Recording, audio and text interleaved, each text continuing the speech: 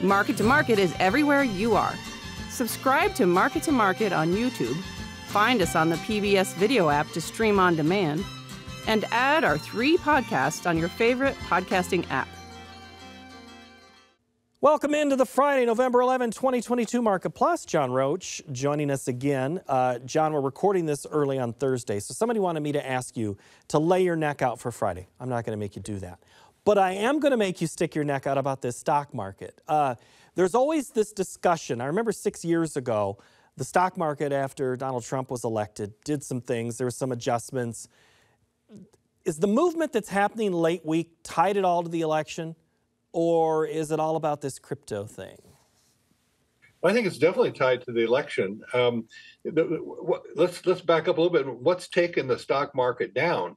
Uh, and it's it's been the increasing interest rates, and the increasing interest rates was to slow down inflation, and inflation was caused by Congress spending a lot of money, and um, uh, so when when you have uh, uh the possibility uh, that uh, Congress won't spend so much money because it's deadlocked, um, then there's a possibility that the Fed doesn't have to do so much work uh, in order to slow down the inflation that that you you, you do it uh, um, uh, fiscally, and um, uh, so that was that optimism caught a hold of a market that's down 25% this year or something like that. And if you look at all the different statistics from history, uh, when you get a stock market down 25%, um, it normally doesn't stay there, and it's a buying opportunity. And so people were were are I mean, should say are afraid of missing the buying opportunity. Um, and so this kind of second time that we we inserted some optimism about the Fed being done with their or going to slow down their their uh, increasing interest rate uh, policy. Uh, the, the attitude a week ago was that uh, the Fed would go up 75 basis points in the next month. And now the attitude uh, dropped down to, well, maybe only 50 basis points. Uh, maybe they don't even have to do it. Uh, the the report out today on inflation, it's increasing at a smaller pace than people thought. And so you've got that optimism uh, of maybe the Fed doesn't have to work so hard with the interest rates, which put the optimism right back into the stock market, and um, uh, and and so we we rapid we gained uh, uh all the losses we had in the last few days back very quickly. Uh, now the question becomes one of have, have we slowed the inflation down?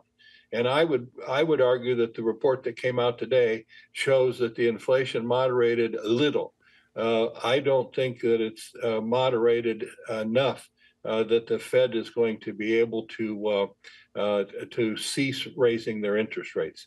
Um, the, the Fed interest rates, you know, are you know we're we're, we're seeing. we pumped up to about four, a little over four, four and a half percent on the two-year Treasuries. Um, when you're inflating at seven or eight percent, um, the, that's not high enough of a rate.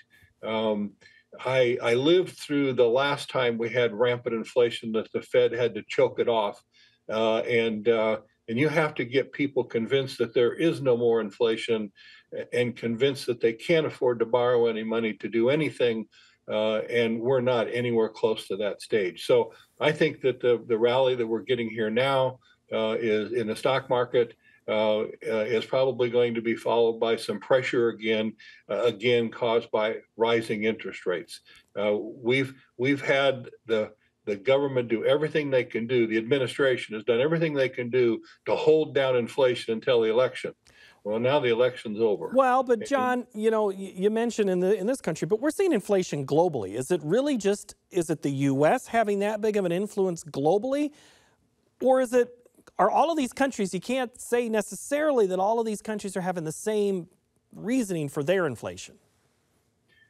Well, it, it, uh, the, the, the, here's the reasoning, and let's go, let's go to the real basic of the reasoning. We're trying to get off of a carbon economy. And, and the reason that we had the rampant inflation back when I was a kid or, or a young adult uh, back in the uh, in the uh, 70s going into the 80s, the reason that we had that inflation was, if you remember, an Arab Arab oil embargo. Uh, and that was a relatively temporary kind of a situation. What we're doing now is we're going to decarbon the economy. That's not temporary. That's a that's a major change in policy, and and it's not a U.S. thing. It's a world policy change that is being um, uh, attempted, uh, and and we quite frankly we don't have an alternative.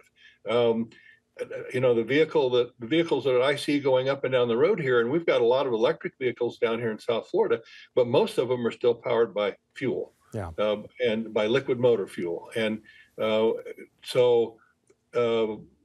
Be careful here thinking that we can change our economy without inflating everything um, uh, and so are we done with the inflation? I don't think so. Okay. All right. Let's get to a couple of the questions submitted. First one is about the wheat market. And this is a guy not too tar- terribly far from you, closer to you than me.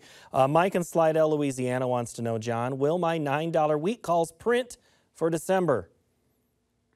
Uh, $9 wheat calls? Um, I think the market's going to maybe struggle to uh, uh, to um, uh, move that far that fast, uh, but there's always the possibility. To, it's really a weather dependent situation, um, or, or, partially weather, not totally, but partially weather dependent. Yeah, you hit that pretty heavy there in the, the show. We don't normally discuss wheat as long as we did. I was kind of glad we were able to get that. And that was the big market mover on the week in the sense of percentages. I mean, the December contract down 5.2%, the March down 4.7. Uh, but the corn contract also down, and that's where our next question comes from.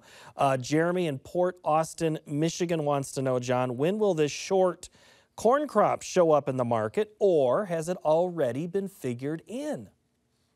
Well, I think the short corn crop uh, was figured in uh, actually uh, some uh, months ago, really.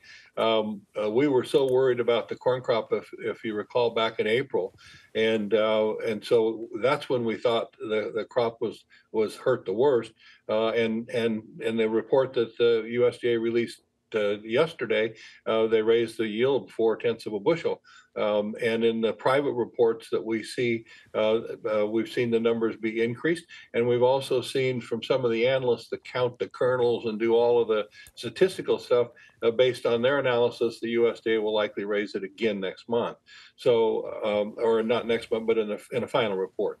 And so, uh, no, the, the, the, corn crop is likely not to get much smaller uh, than what it is right now. All right. Well, uh, that also figures into the next question and to the next topic involving corn. What do you do in 23? So Shannon in Iowa wrote us on Facebook. Are you recommending a high percentage of new crop 23 corn sales at this time? No, not really. Uh, we did some of that um, back when prices were higher and, and uh, back during what we would call our selling season, uh, which runs kind of March through July. Um, right now, we're in the harvest season. Uh, and so now is when you tend to have lower price levels. Uh, in fact, is uh, on our buy signal in corn, we have actually a buy signal right now in corn. It's a two box buy signal, and one of the boxes is seasonality which means this is the time of year. Most years, it's a good time of year to be a buyer. So November isn't a good time to be a seller unless you really like the price. If you really like the price, there's never anything wrong with doing with making some sales. But if you were to make any sales, I'd make them very small because uh, my argument would be that we'll worry about that uh, 23 crop a lot between now and harvest next year. You- uh, and and the thing we talked about on the show that I need to bring up right now is that Argentina uh, has a problem. Uh, it's dry there. Uh, they don't have their, all their corn planted. They're running out of their corn planting season, and uh, and so uh, uh, and they're a big exporter in the world. And so keep your eye on Argentina. That's the first crop to be threatened, and it is being threatened.